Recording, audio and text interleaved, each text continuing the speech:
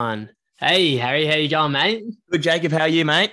Yeah, pretty good, mate. Pretty good. Who we got Yeah. on today, mate? Mate, another episode, and we got another Olympian, and boy, are we excited, aren't we? Mate, bloody oath, bloody oath. We've got the Australian discus thrower um, who re- represented Australia in the 2020 uh, Tokyo Olympic Games.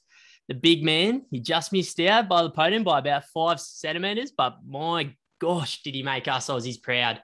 Mate, he, uh, he bloody embodied the Australian spirit and made us all proud to call ourselves Australians. Here we are. So we've got uh, Matthew Denny. How are you, mate? Good fellas, thanks for having me on. How are you?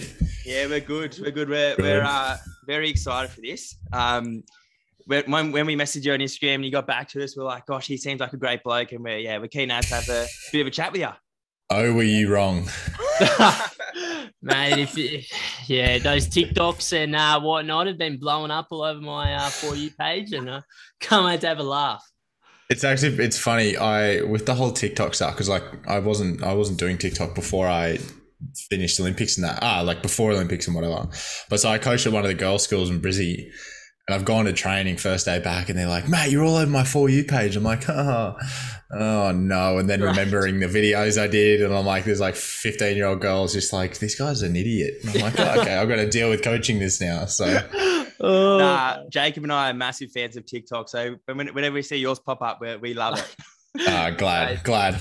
bit better there, at a little bit of a higher quality than the ones uh, I produce. Mine, mine are uh, probably just shit talks, not not not many, not many TikToks going on. Yeah, well, the I main, think, the main, I think mine were the same in the beginning, that's for sure. the main difference is Jacob gets about 200 views. You get about 20,000 views or more. Working my way up there, mate. I'm working. I'll get there one day. Uh, Uh, one day, one day. I mean, I, I'm surprised I got there in the end. Uh, all right. Well, um, let's get into it, mate. Um, as we told you before, we have like these rapid fire questions that we do with all of our our guests. Um, so Jacob and I will just ask you one by one, and then you just try to answer as quickly as possible. The first thing that pops up into your mind. Wait, let's do it. All right, Jake, do you want to ask the first question, mate? Uh, yeah, mate. Okay, so if you could eat one meal for the rest of your life, what would it be? Chicken pesto pasta. Uh, favorite movie or TV show? Um, Rick and Morty. Who's your hero slash idol? Um, my my brother, the brother Zer. Love that. Uh, do you have any nicknames? Uh, my brothers call me Jethro. Jethro. So from yeah, so from Bev- Beverly Hillbillies. Oh, Yeah. Oh, you've never said it? Okay, yeah. So, Bev- so basically, it's like um, this big redneck that uh, used to wear like overalls and stuff. And because I was, I'm the youngest, but bigger than them, um, they always used to call me Jethro because they thought I was dumb. So that's good. That's a piss up. Um, who's your celebrity crush besides us, obviously? Uh, celebrity crush, Chris Hemsworth, Oh, I love Yeah, that. he's a hottie. legend. Um, what is your go-to holiday destination? Go to holiday destination uh, would be New Zealand. Ooh, nice. Uh, pineapple on pizza. Love it. Ooh, Are you a dog? or Split the crowd person? there. Dog. Dog. Dog. dogs. Um, and then if you were going to dinner and you could invite uh, any three people in the world, who would they be? Um, my my fiance and Chris Hemsworth and Margot Robbie. Oh, bang, bang. That'd That'd be such a great Australian chat, I reckon. Yeah, That'd be great. yeah. Uh, you're fucking Aussie. I think you're Aussie, man. Fucking- You'd swear, you'd think so. I love that. Like legit, Chris Hemsworth and Margot Robbie are my two biggest like celebrity They're crushes. so, but like they're so good at acting. Like they're actually yeah. so good. the thing I love is just like about how all the other actors like talk about him. Like they're like, oh yeah, they're just such good people. I'm like, well, that's just all Australians, really. Yeah. But it's like, yeah, all the Americans treat them like they're unicorns of like the industry and stuff, and it's just like them being Australian. It's crack up. Yeah, fucking oath. I just love how the Americans and like all the other na- like countries just froth like froth like froth Aussies. Like, and we're just It's so it's it's so funny. Like when we so when I went over to Germany back in 20, 2017, so I had a mate studying um, German over there, and he was living over there for like four years and whatever. And he he took us out to um, like you know the mixed country um, bars that you can go to, and basically you put on the country that you're from, and then you go and like it's just a big big drink fest, and um, and yeah, dude, like everyone loves Australians. It's incredible. like they all like search out for the Australians, and then they'll all come drink with you and stuff because like obviously history of drinking Yes. from the country and stuff. It's so crazy. Like they they rate it so much. Yeah. I love. I don't- and they obviously just love like the bogan accent anyway, but it's yeah, so good. Um, no, that was great, mate. Um, great answers there. Um, They're for the pineapple and pizza. I'm not sure about that. yeah, Yeah, no, we can fight about that later. Oh, no, I'm good, actually, I'll uh, take that back. Oh, you leave that one? All right, cool. Would you go? Would you go? Um, would you go pineapple on burgers? Yep. Yeah, like a s- like you go like going and Grill'd and stuff. Get like a Somerset burger. Yeah, nice. Yeah, they, I rate that. They're so good. Just a pineapple fan altogether, mate. Yeah, I just love pineapple. Yeah, I just love. I reckon pineapple by itself is just elite. Mm. Like, It is. I mean, a whole a whole pineapple though can definitely ruin your tongue for a couple of weeks. yeah, that's true. That is true. Like razor blades. yeah, like razor blades. Licking fur. okay. All right, that's awesome, mate. Um, yeah, nice. Uh, I guess going into the questions now. Uh, firstly, how how are you feeling after uh, this big last month? I guess. Um, it's been kind of like pretty full on with the first two weeks, obviously with quarantine and that. Even though it was quarantine and like, oh, you have downtime, like that whole two weeks, I was, you know, obviously my TikTok took off, and then um, I was replying to a lot of messages. It was I couldn't believe I actually couldn't believe how many people just reached out and like said congrats. And even people I grew up with that I hadn't talked to literally since I left school reaching out and saying like messages just trying to like sort through all of that. And and then the TikTok stuff took off and I was really really enjoying it just because especially the more like quality ones that I did like the um the expectations versus reality one with quarantine the um, addicted to TikToks and the um, oh the shaved face one. Um, I actually wrote scripts out for that, so like I Yeah. you know just like really had to think about like how to make it decently funny and like Mm. shoot it properly, edit it, and so like I really enjoyed that. That really killed some time for me. Um, but then yeah, obviously then I've just been out. I've been out for nearly a week now, out of quarantine, so. It's been not too bad. Obviously, I had to move this weekend, which sucked, but um, yeah, it's just kind of I'm coming back off. I'm coming down off the high now. Um, Yeah. but it's it's kind of like it's been pretty brutal actually, to be honest, because because I still don't know how I feel about the fourth. Because like I'm happy with how I performed, but I'm mad with the fact that I knew I had more there. So it's like there's it's kind of eat, eating at me at the moment. But yeah, so it's it's a big high, a lot of stuff going on, like just trying to like be level and stuff. But yeah, it's been it's been an interesting time. Yeah. for sure. Well, like that. Um, it's a good way of sort of spending your quarantine time. Probably made it go a bit quicker than other people. Oh yeah, for sure, hundred percent. Um, and then like obviously like with the coming, you know, the fourth, which was tough. But like, how how was the whole Tokyo Olympic experience compared to like your Rio one? Um, it was definitely like I was in two different like parts of my career. Obviously, with Rio, I was um, very young. Like I was the youngest in the field by like three or four years or something. Um, but yeah, like that was more about getting there, and I was I was also in good enough form where I should have made the final, but I just didn't perform well, and it was a big year where holding my peak was very difficult. Um, and then yeah, and now we're in a position like we came into this in a position where um, a lot of like I was very dark horse when it came to um, a lot of the people that were looking at medals and like how everything would play out. Um, but I knew I was in good form, Hmm.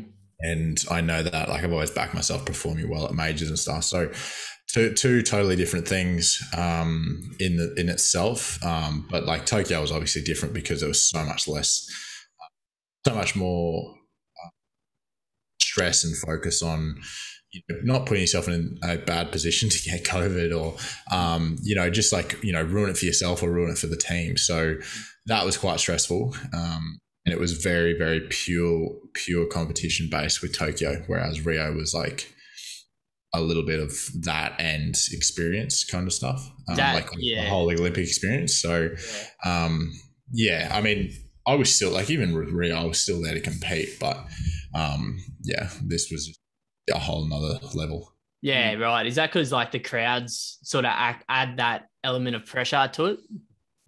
Um, to an to an extent, like more more the fact that like I think because of like because of COVID and everything was so strict, everything was shut down. We had no crowds.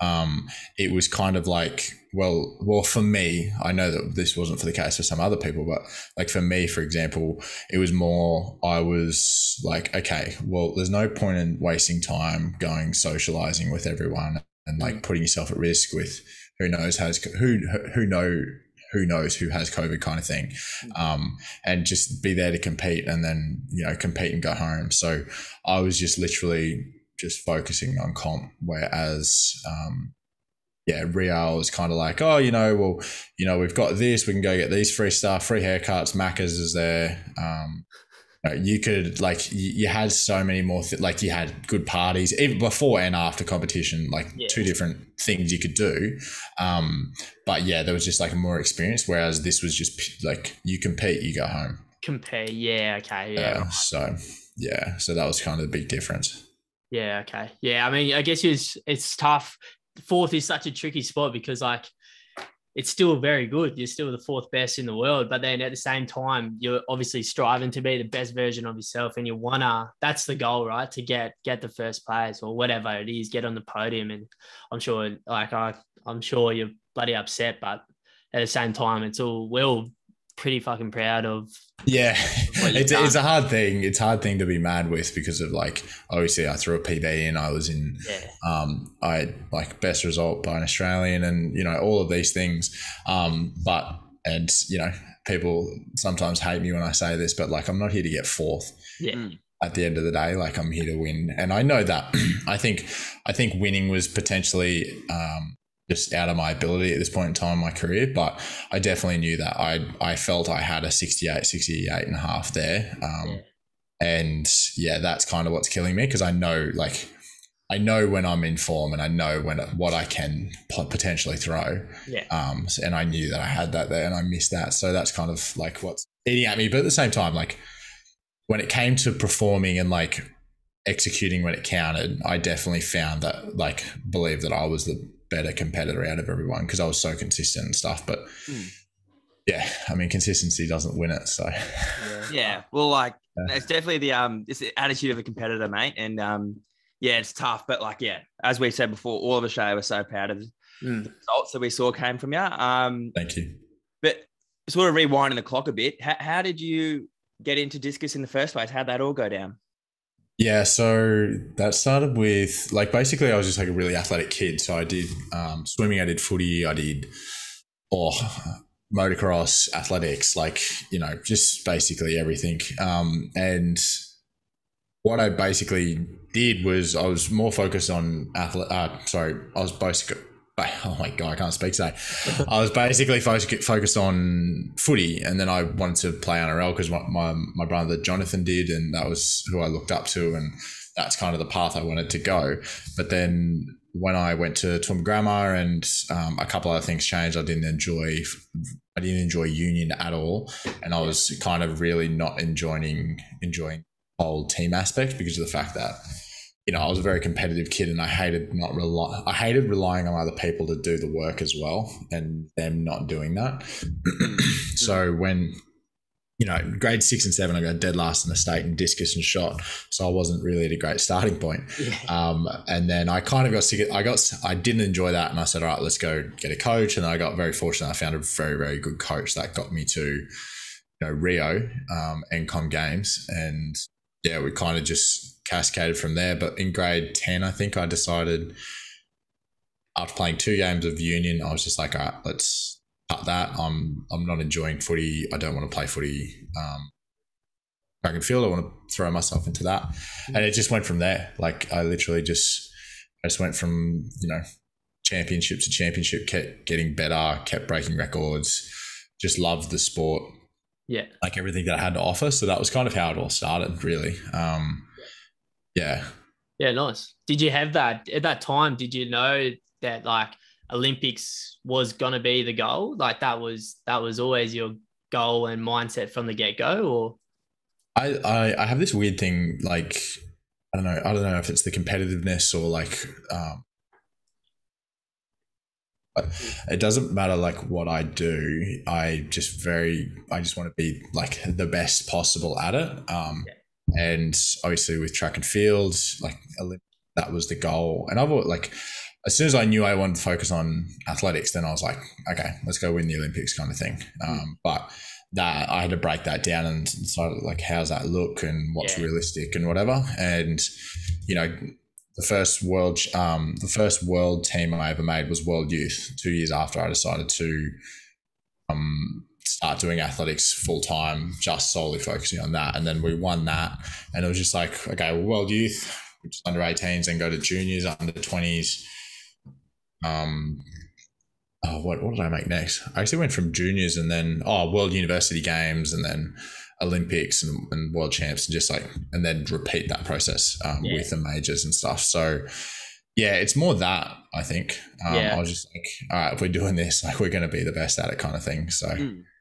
So I guess like in saying like the way you've sort of broken it down and you've gone like goal by goal in a way. When you when you sort of started off training, um, like week to week to now, like what sort of how does training look like now compared to what it was when you first started? Like how full on are you being with your training and stuff like that? Yeah, I think like when I when I was younger, like my training was actually even more full on than what it is now. Um, because like my training's still f- full on as it is, but um, it just looks different the way that you focus when you get older and the way that you like basically select what you need to do, picking your points in training and like being very selective in um, your development and what you actually need to get better. Because you get to a certain point where it's like, okay, well, I've I've ex- like I've reached my resources with that. Let's start some new stuff or like try different things. So, um, yeah, and like that whole goal thing. If you just sit there and go, "I want to win the Olympics," you it's like impossible to fathom. I think like in Yeah. the complexity of how much development it takes, the time, how much dedication you need to put into it, how much you have to like not do to be able to get to that point. So, and at the same time, you also have to be very genetically gifted. You have to be all that kind of stuff. So it had to be broken down. Yeah. Um, but like the training now, like training I do now, so I've two sessions a day, um, and that's usually five five days of the week. Um, now because I'm older, I don't do Saturday sessions. Thank God, loving it. Um, and then yeah, it's just it's a it's a um, balance between um, throwing, weightlifting, gymnastics, um, else. Uh, yeah, like so they're like my main sessions, um, and then like athletic development, so like sprinting, sprinting and jumping, and then like med ball work and like um, Mm. Specific training systems and stuff like that. Um, so that's all over the period of the week, and then you add in like three, three to four um, treatment sessions out of the week and stuff like that. So yeah, it's it's pretty, it's full time. Like you know, I leave I leave in the morning at like normal work day, like eight o'clock, um, and then I'm not back until. 5.30 6 o'clock at least um, Yeah. by the time I f- actually finish the day so it's it is full time it's full time work um, it just looks way different and I love it so Yeah, gosh, it sound um, it's like it's cool how you're saying like you so many sports sort of intertwine with discus because like I guess like we don't know too much about the sport. Like obviously we love watching Yeah. stuff, but I didn't realize how many different um, sports that you can do that can actually help you with your performance. Yeah, it's pretty. Um, that's I think probably one of the biggest things I like about it is that you know to be a very good um, discus thrower and thrower in general, like jav, disc, shot, hammer, you you have to be very very good at multiple things. You have to be like you have to be a whole athlete because if you if you don't have flexibility and um, you know coordination and um, explosiveness and stuff, um, you just don't have you don't, won't have the ability to perform the actions correctly. Mm. Um, so and then like weightlifting, right? Like I'm not even one of the strongest discus throwers, um, but like some of the guys that are the stronger boys in disc at the moment, even like whether they're throwing far or not, you know, a challenge it would be like beating some of our top Olympic weightlifters um, in Australia, kind of thing. Um, and like you know they're very very strong people just in general and then yeah just good balance and you know very explosive through sprints and like jumps standing long stuff like that like you just have to be a whole athlete which is um yeah like i feel like when i watch sprints and stuff like obviously or sprints and jumps and all that like i'm not saying they're less than i'm just saying that I feel like disc is uh, throws are one of those sports where you, you, literally have to do so many things to be just good at it. Mm. Can't just you can't just do the event and be good at it. Like yeah, no, great answer. Mate. So, great answer. Yeah, for sure. Um, so like me and me and Harry are pretty interested in uh, nutrition and like especially nutrition of athletes. So like considering like you're a pretty fucking big boy I assume you need a lot of power in your throw.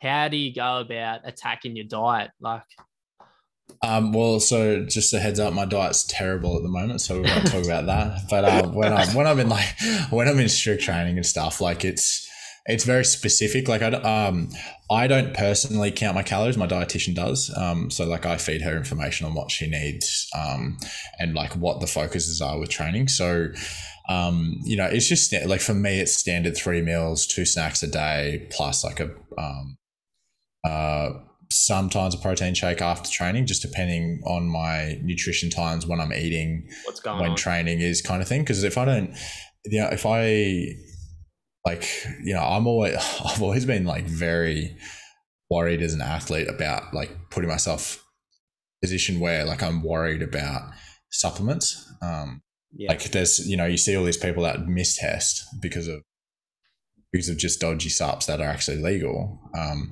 I've always been worried about that, even though I've got HASTA approved. I've always got this and that. So like, I try and always make sure that I don't need that unless it's a last resort. Um, if I like, if I'm not organized or you know all that kind of stuff. So yeah, I just have a normal diet. Um, yeah. obviously have like I have my upper levels of um, of protein and carb intake because of my size. Um, but it's just yeah, it's just standard ABCs, just making sure I'm always fueled and just yeah. adjusting, you know, percentage wise when it comes to what we're doing. So like my percentages will go up intake wise when we're leading into this next phase because of we're going to go. It's about I think it might be a month and a half, two months of probably actually more um, of hypertrophy work just because it's like going to be general prep. So we're going to put on hopefully around three muscle, three kilos of muscle mass. Um, then from there, then we'll just strip back body fat wise um, and be more athletic. I'm pretty fat at the moment, which is great. Um, Try fit into that jumpsuit of yours. yeah, no, nah, I, I definitely would be wearing that anytime soon. I'll say that. um, pretty sure I had like 1.2 kilos of Nutella in quarantine. So, yeah. yeah uh, so yeah, no, nah, when I want to eat, I can, but like everyone's like, oh, you must eat so much. And it's, I don't actually. I, yeah, right. If I'm, if I'm not training, I'm just like, yeah, blah, whatever. Mm, yeah, um, but but when I'm in training, like I'm very strict on it. Um, like like yeah, right. Yeah, yeah, it's keeping it nice and simple, mate. I love that. Yeah, simple um, stuff.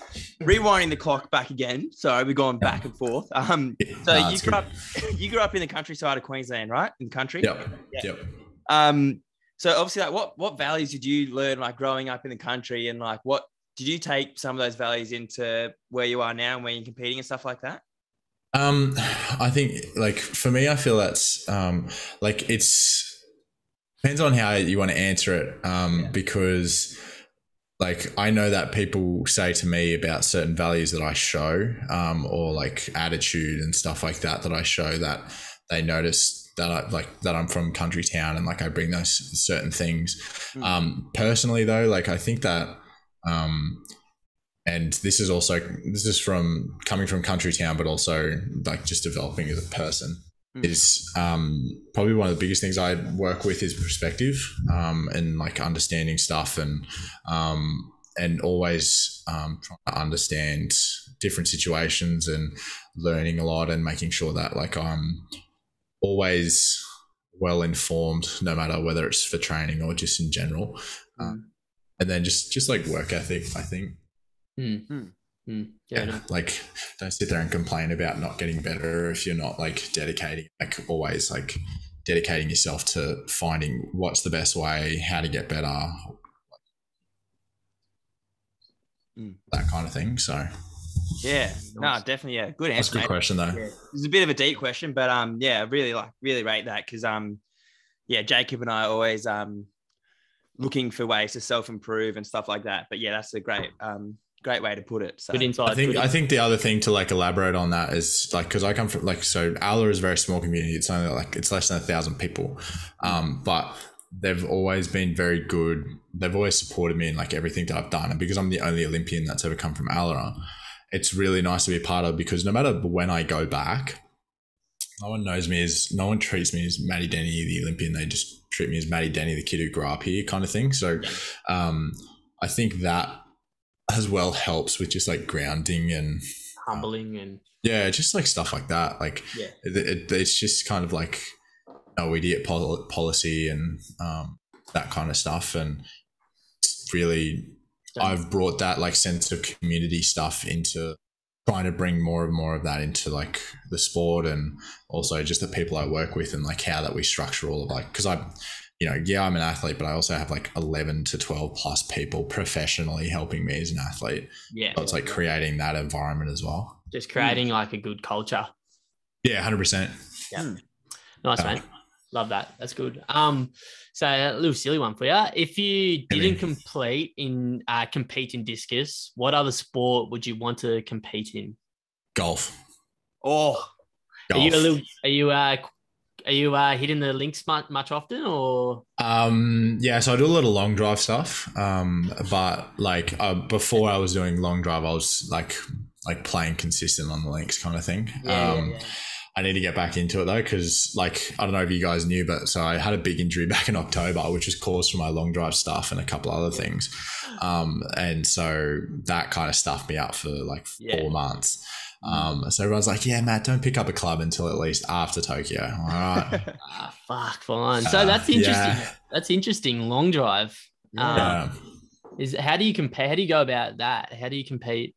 Do you compete? So, so, so there's like a long drive association in Australia that's partnered with um, the main one in um, America. So you know how they used to do like long drive comps, it was like ESPN and all that sort of stuff. yeah, yeah. So they separated from ESPN because they didn't want to continue. Um, so now it's like L um, LPDA or something, Mm. and Australia's got a branch here now. So like that's our comps and whatever.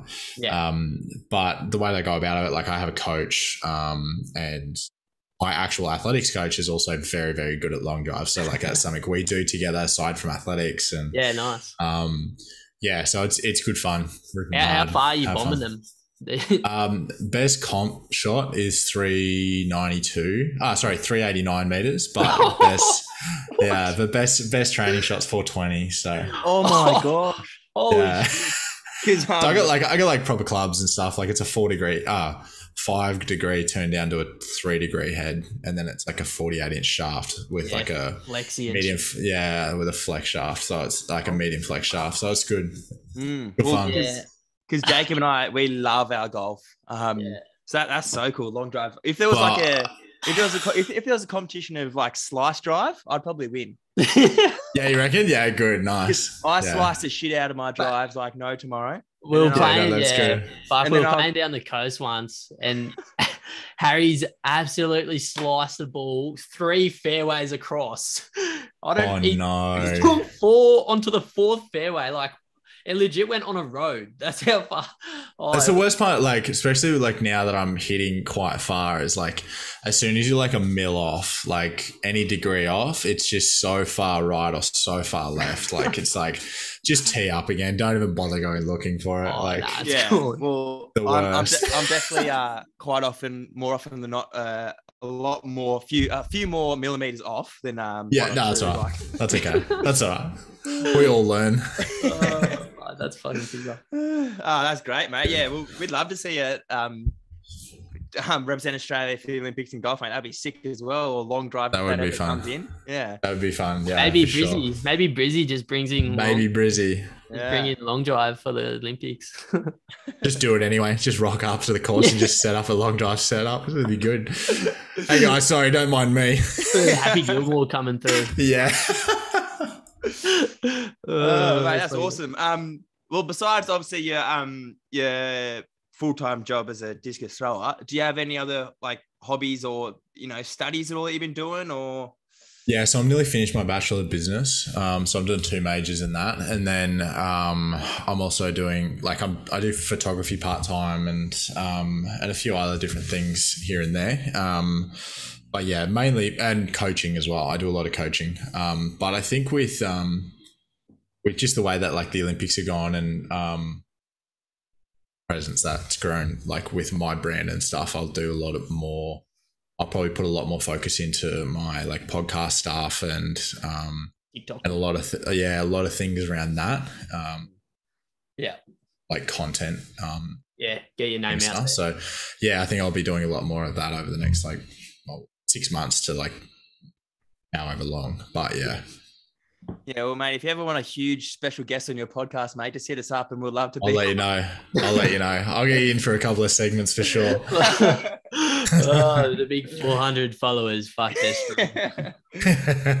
um, yeah, that sort of wraps up all the, the questions that we got for you, mate. That was awesome. Um, you got Yeah. really in depth there and a few deep questions. We love it. Um, and now we sort of move on to our sort of segments that we love doing. Um, and Jacob's got uh, his segment that he called uh, Wiley's Wacky Thoughts. So it's basically a conspiracy theory that he finds and uh, he tells us about it and we have to sort of react to it. Um, All right, let's go. I love, you a know con- that- I love a good conspiracy. Don't worry. um, Jacob's conspiracy theories are either like full on really good or just complete utter shit. So just- no in between. Yeah. Uh, hopefully, it's just not an anti-vax one. That's, that's hope. I I tend to stay away from that stuff. You know, Yeah. to stay PC. uh, All right, Jacob. yeah, here we go. So bear with me here. Um, so the theory, right, is that humans used to live on Mars. Okay. So before Earth, we lived on Mars. Um, because Mars has shown that it's got water, other other resources, and it's been confirmed that like humans can live on it. Um, and then also to add on to that, Mars has slowly been fading from red. Um, so many people say that like there was a nuclear winter that happened like thousands of years ago, and pretty much a nuclear winter is or happens when like a planet is destroyed by a nuclear bomb and the smoke covers the planet, turning it like temporarily red and it fades over time. So that's what's going on now.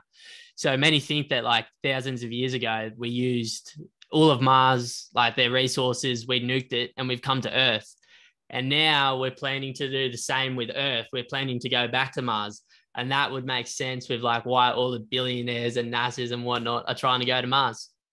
Holy shit. I, I I actually have heard that one. I back that though. I reckon that I wouldn't be surprised because have you seen all the stuff around um the sorry to like add to the conspiracy? Have you seen the one around the um, pyramids and the way that they're structured and is like perfectly on um Yeah. certain axes and stuff? And I was just like, hmm, what?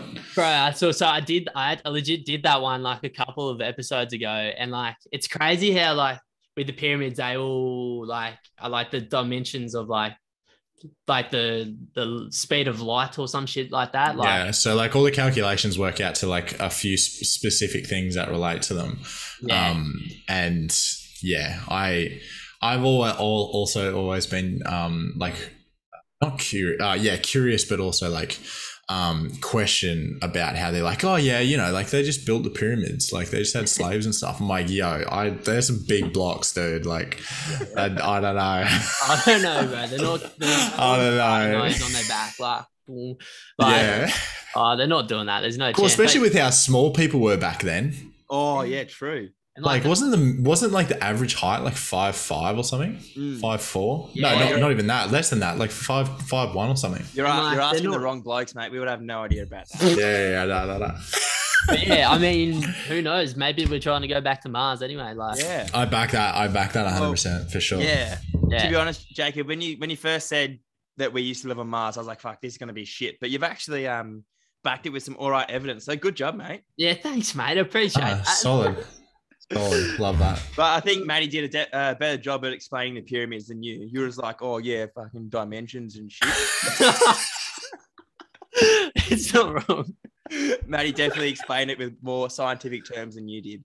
Pretty much every time someone comes on here, they just fucking out. They just outperform me in every You aspect. just you just say, oh, you just say it with confidence. Anyone will believe anything. Yeah. That's it. Oh, Yeah. well, when, when we Ah. um when we interviewed um the beach volleyballers last week, um, Yeah. Mariafe Taliqua, Jacob literally couldn't speak in front of them. It was just so embarrassing. And then Oh really? I was a bit, I was fucking nervous. Fucking, and then Dude, then- they're and so funny. they're Yeah. so cool. They're and fucking they were, awesome. they were They're saying, good yeah, well, they were saying, yeah, I hope uh, speaking doesn't come to the Olympics because Jacob wouldn't be representing Australia for us. I was yeah, because like apparently the uh, like spelling and literature used to be in the Olympics like ages ago. So Hmm. oh Like, really? I oh, hope they. I, de- I definitely wouldn't have gone to that. I'll tell you that. Ah, Not a chance. No, that's good. No, they're good chicks. Yeah, because like I train with them at QAS all the times, and they're Mm. they're they're good chats. oh, they're so cool. Yeah, we were because uh, they were, yeah, they were our first sort of Olympians we had on. We were absolutely shitting it. And similar with you, I guess we're like, fuck, we got Olympians on our potty, but you guys are cool. Fucking No, Matty it's G. good. The TikTok star actually is not The not TikTok star, yeah, Brandon Stark's roommate. Yeah. um, It's a tellerator. So that that's that's Wiley's wacky thoughts for you, mate. We got um, this is probably the, our favorite one that we love doing is our dad jokes. oh, nice. All right. There are so many good ones out there. Um, and we, we, we try to say it say it to each other with, and try to keep a straight face or try not to laugh. But we're, we're Yeah. Jake and I are pretty bad at not laughing. just, just speaking up, fucking laugh, pretty much. Um, Bad. so Jacob, you want to go first with yours, mate, and we'll try to keep a straight face, as much of a straight face. Yeah. Yeah. I gotta Okay. smiling. okay, so um, to the man in the wheelchair that stole my camouflage jacket, you can hide, but you can't run.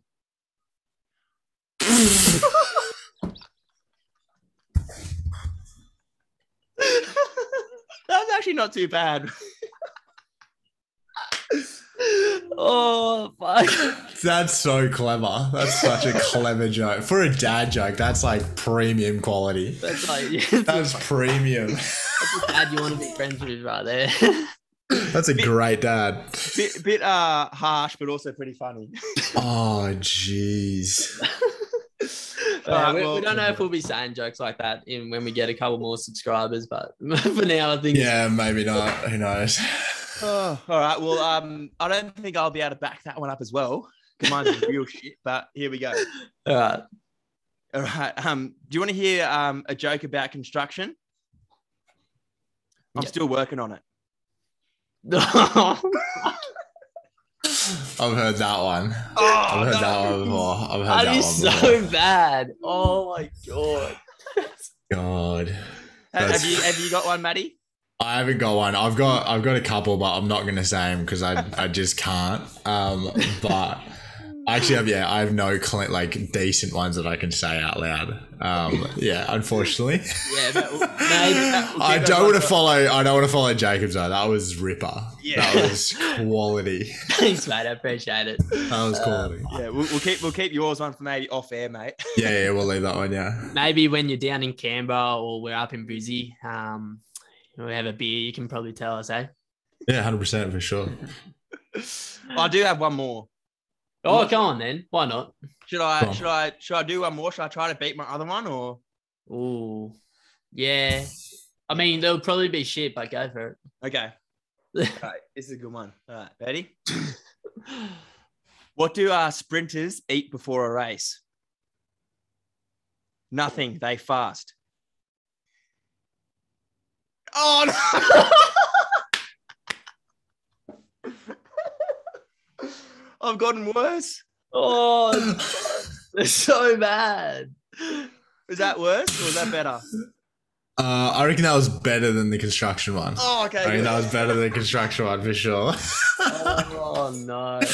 oh god, that's Oh, cool. I was fucking shocked. Nah, rate it, rate it. Good quality. Well, well, Jacob, Back it up with Jacob confidence. All you need. Yeah. Jacob wins this one. I'll give it to Jacob.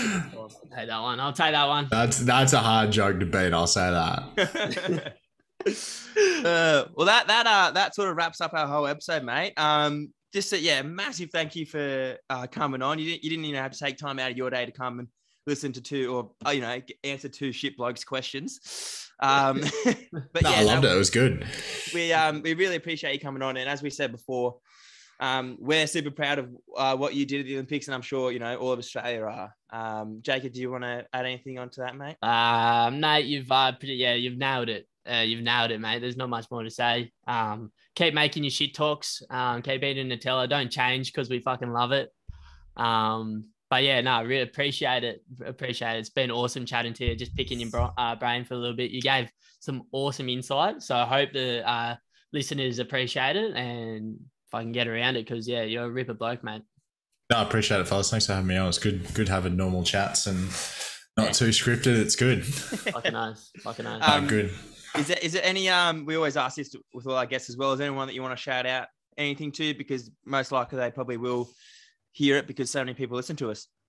No, I, I don't. I, yeah, I don't really have any shout outs, unfortunately. No, uh, but no, I appreciate you guys having me on today, and um, yeah, just good to have fun chats and not be too serious about things. It's good. Yeah, That's good, man. that's that's I'm what we aim for, mate. Because you know, as serious as the world can get sometimes, we just want to step back and have a laugh, hey.